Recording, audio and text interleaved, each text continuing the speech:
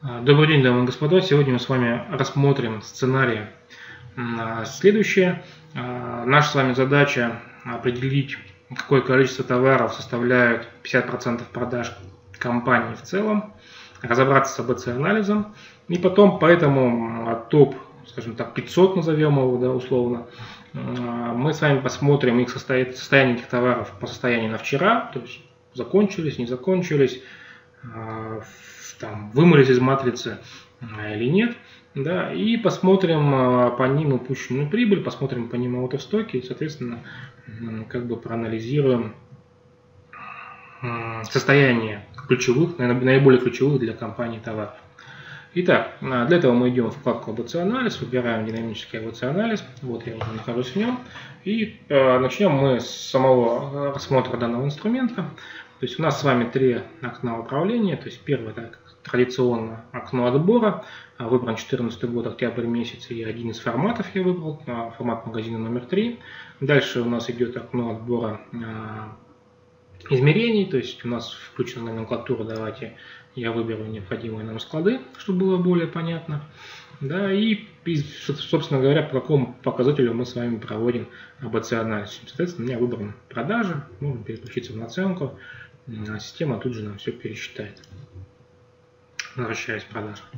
Ну и, собственно говоря, привычная нам динамика а, продаж а, в сравнении с предыдущим годом и с переключением масштаба а, данной динамики в различных аспектах дней, недель, месяцев и так далее. Дальше у нас есть элемент ввода, где мы можем ввести свой, свои границы для группы ABC. А, у нас выбраны склады, соответственно, есть меню отбор этих складов, да, где мы можем посмотреть и отобрать необходимое. Ну и, соответственно, есть фильтр по товарному классификатору, который нам позволяет выбрать любую категорию. Да, и вот смотрите, у нас уже по мясной гастрономии выбран склады формата 3, и по ним уже проведено, а, соответственно, ABC а, классификация.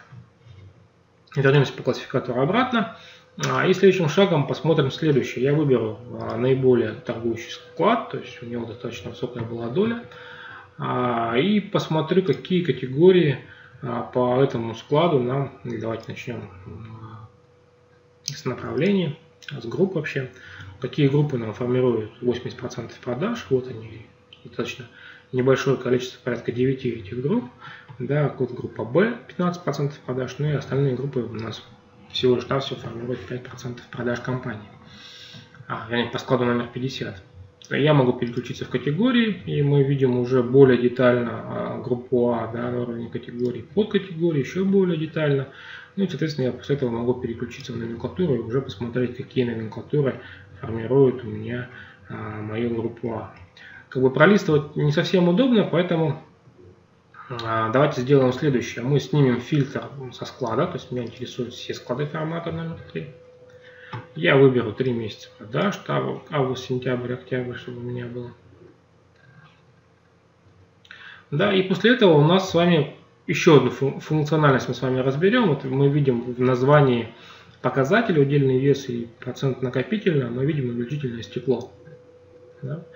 А вот нажатие на увеличительное стекло вызывает строку ввода. Причем ввод он так интересно, он горит рядом а, с нашей с вами корзиной.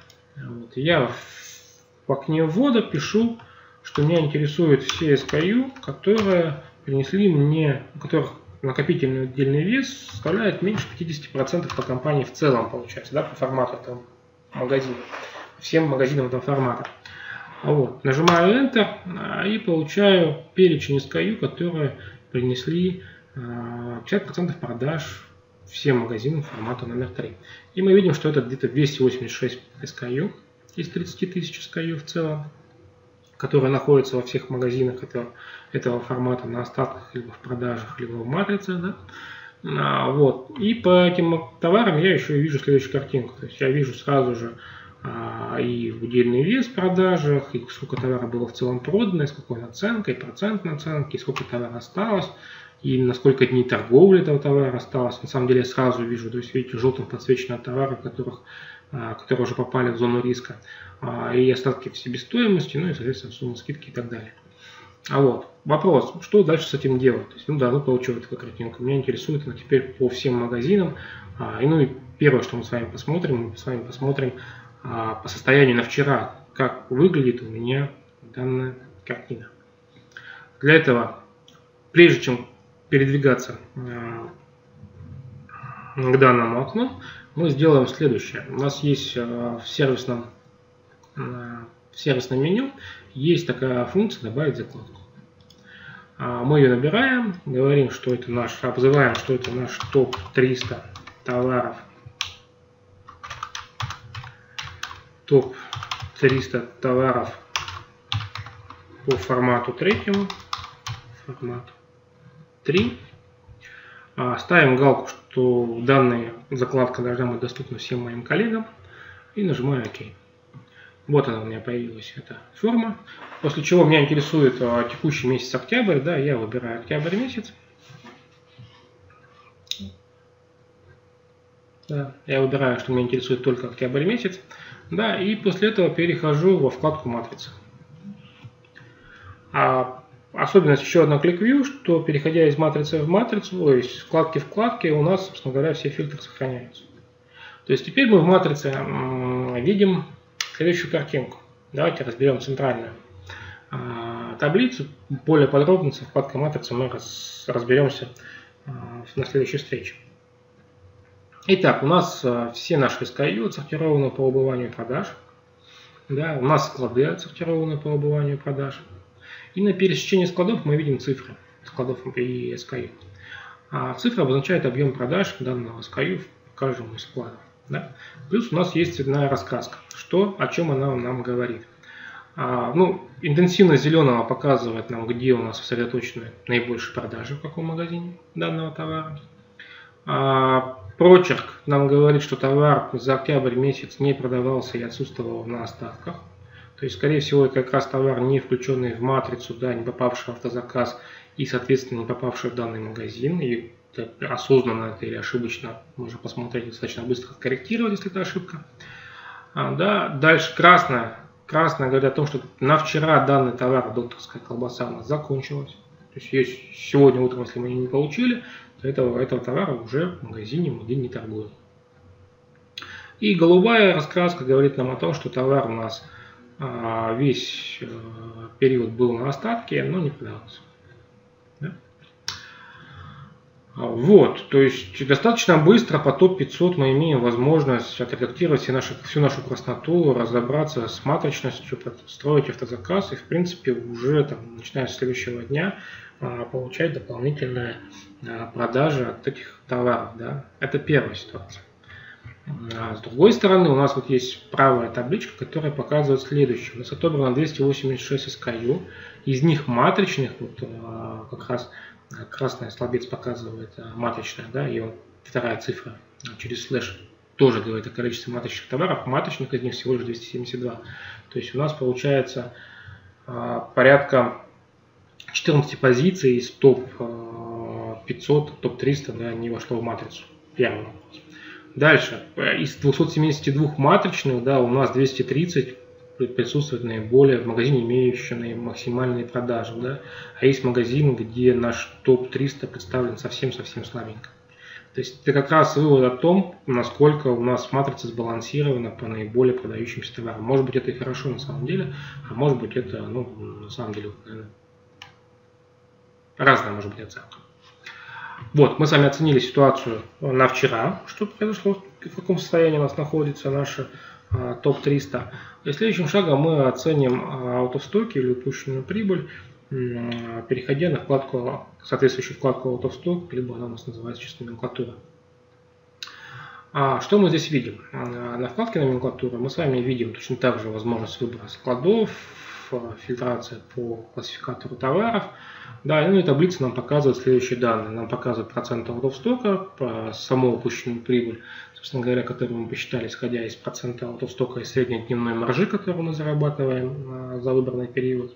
Давайте расширим его, там, август, сентябрь, за три месяца, чтобы у нас была цифра поинтереснее. А, значит, мы видим продажи, мы видим наценку, видим количество проданного товара, видим остатки на конец периода в целом по компании, ту же самую информацию о среднедневных продажах за последние 30 дней, ну и запасы в днях, насколько дней торговли у нас товар осталось. И везде, где помечено желтым, мы видим, что товар у нас этот закончится, попал уже в зону риска. А, дальше, смотрите, у нас есть, э, ну, на резюме батон не будем смотреть, да, а вот цыпленок бройлерный, в целом по формату, по всем форматам магазина 2,2% от стока, кажется, очень мало. Давайте выберем а, данную SKU.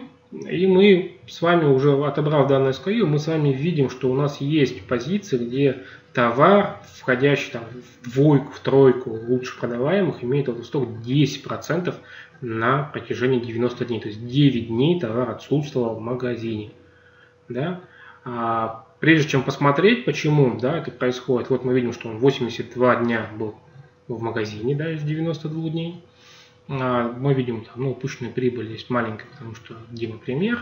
А, видим продажи, наценку, количество проданного товара, остатки на вчера, а, темпы продаж среднедневные и, собственно говоря, где в зоне риска мы с вами находимся. Практически во всех магазинах попали в зону риска.